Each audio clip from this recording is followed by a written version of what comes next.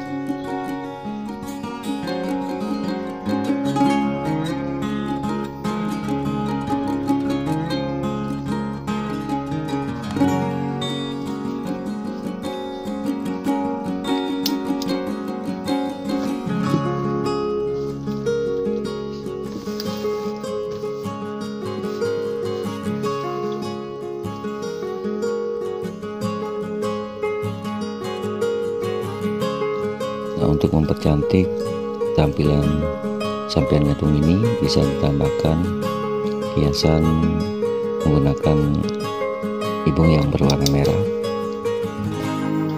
Seperti ini untuk mempermanis tampilannya